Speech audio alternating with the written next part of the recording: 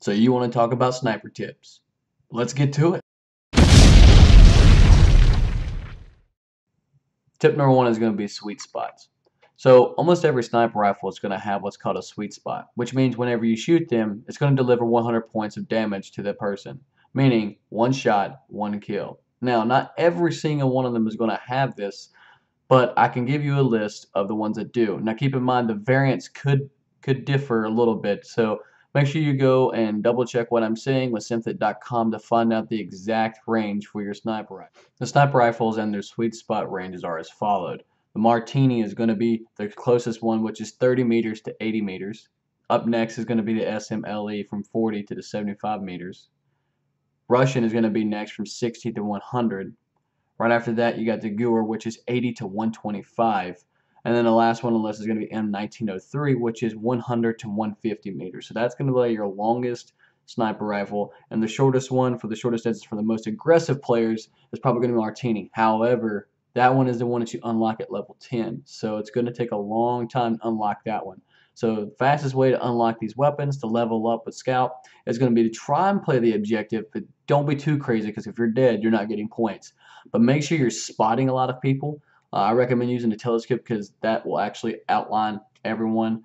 Um, or you can just use your sniper rifle to, to spot everybody. If you can't take the shot or before you take the shot, it only takes a split second to spot them. So every person you spot, you're letting your teammates know where they're at, what you're doing your job, and then whenever they get kills on them, you're going to get spot assist. Or if you get the kill, then obviously you get points there. So the fastest way to level up your scout class is going to make sure that you're uh, highlighting everyone that you possibly can at the telescope. If you're not got that equipped, then make sure that you're spotting everyone.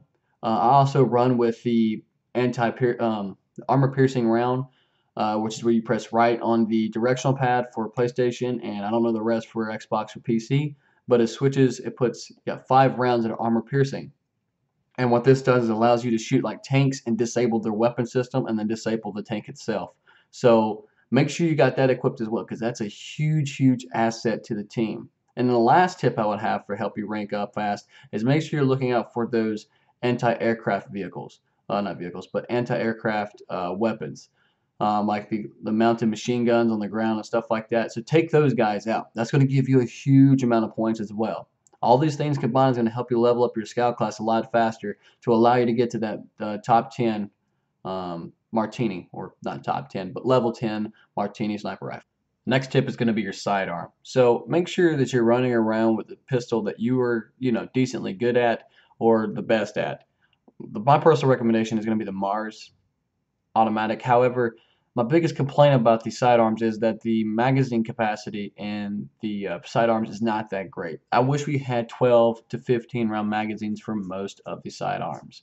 Um, but the closest you're going to get to that is going to be the 11 round Mars automatic. So I definitely say run with that one, but the rate of fire I think is like 200, not 100% sure. So it's not going to be the best uh, one to use. However, a lot of people do think it is just because of its uh, its magazine size. So keep that in mind. Make sure you're practicing around, trying out different ones. I've tried out almost every single one of them, and the Mars is my favorite just because of the magazine capacity. However, it will be out um, outshot by a lot of different pistols. So. The next tip. I see this with a lot of snipers. So please, please listen to this one. This is a huge, huge deal. This one will get you killed if you do not listen to it. Sniper glint.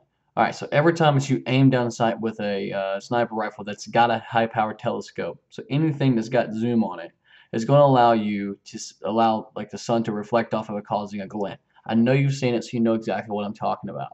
If you're aiming down sights for more than like three or four seconds, then that's going off right about at that point. So make sure that you're only uh, aiming down sight for like a few seconds and then coming back out. So what I like to do is you're going to see in these videos is I like to look around without aiming down sight. However, I can aim down sight and not have to worry about that because I do not use a telescope for that particular reason. It allows me to aim down sight and be completely ready um, whenever, but whenever I do use a telescope, I always make sure that I'm not aiming down sight for more than three or four seconds. So this way, I'm creating a less chance of them seeing my sniper. Alright, so that pretty much does it for this video. Leave a comment down below on any tips you think I might have left out or suggestions that you think I could do to help improve my sniping game. And until next time, I'll catch you guys later.